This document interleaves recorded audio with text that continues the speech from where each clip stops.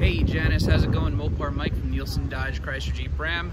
Wanted to do a quick video for you, just give you a quick overview of a couple of differences in uh, the different models uh, so you can take a look and uh, make some decisions uh, before you even uh, come to the dealership or have your grandson come. So uh, let's just get into it. behind me here is a Jeep Compass Latitude and I'm going to flip it over here for you real quick. So you can see here, it's got some nice chrome in the grill. You got aluminum alloy wheels.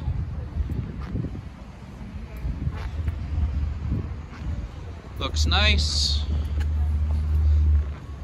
But this is a more basic compass.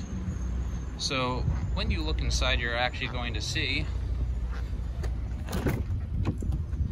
this has a split interior. You have basically a, a cloth insert and this is actually a vinyl exterior on the seat but you know still looks really nice.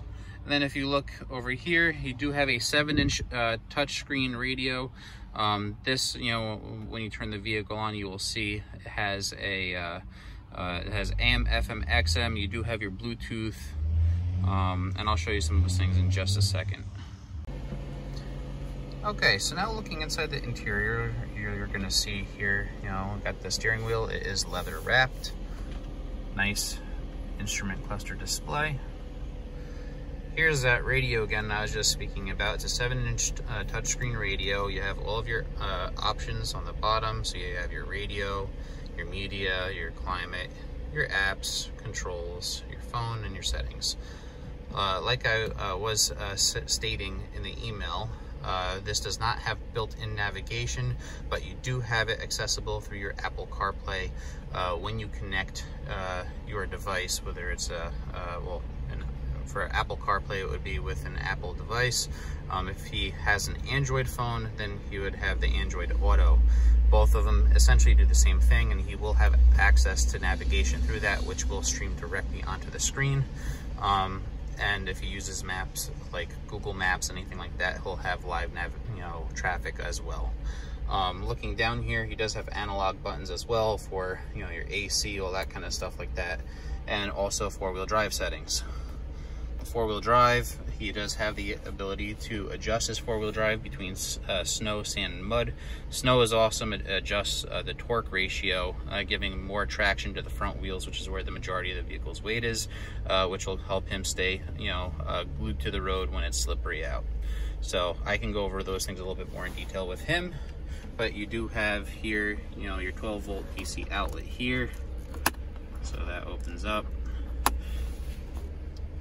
Shifter, you have the uh, uh, stop start system. I'm just gonna try to get this to focus a little bit better here. There you go. The smart, uh, the stop start system here, uh, that's uh, uh, to help conserve fuel. A lot of vehicles have it these days. basically, when the vehicle comes to a complete stop, the motor's actually gonna shut off. And then as soon as he takes his foot off the brake, it will re-engage. If he does not like the feature, he just simply presses this button and then it won't do it.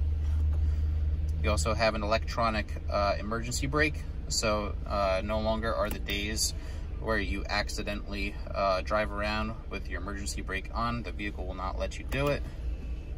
Very simple. So that is basically it. Now, Janice, I did want to show you one more. Uh, the vehicle behind me here is actually a certified pre-owned vehicle. It has just over 11,000 miles on it.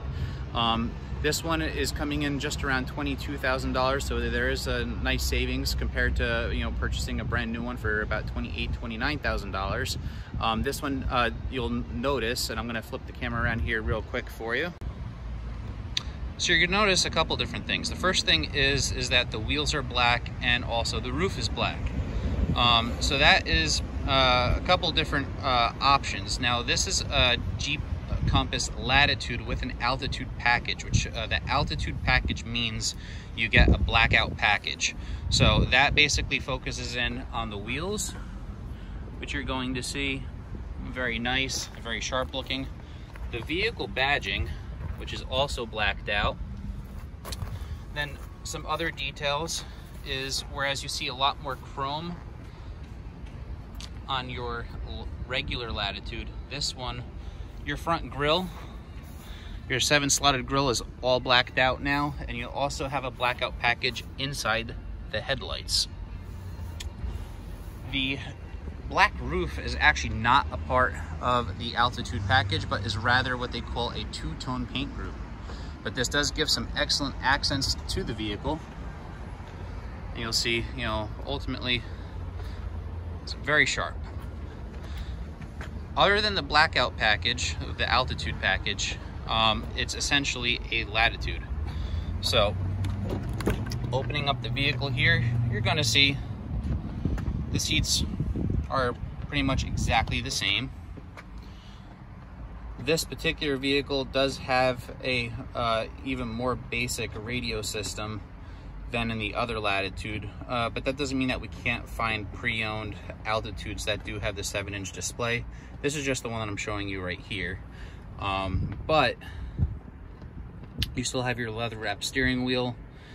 All the other controls are the same and this one will still have, you know, your Bluetooth will still have backup camera. It just won't have uh, access uh, to the uh, Android Auto and Apple CarPlay.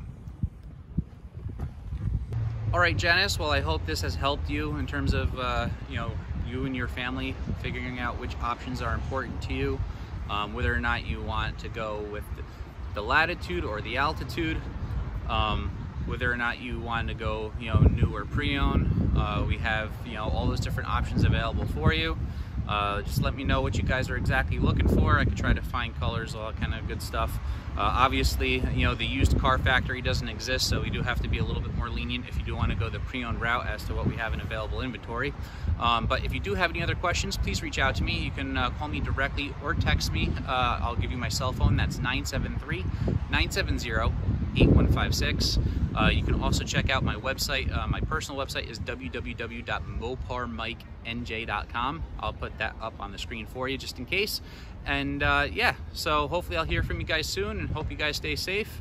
And like I said before, whether or not you guys want to do the majority of the process online and through phone first, uh, or if uh, you guys feel comfortable coming on in, uh, we are masking up. I'm sanitizing my workstation between every single client, and I have one use pens. So don't say you didn't ever get anything for free. Once you come in, you know you'll have a um, official Mopar Mike pen, and uh, that'll be yours to keep.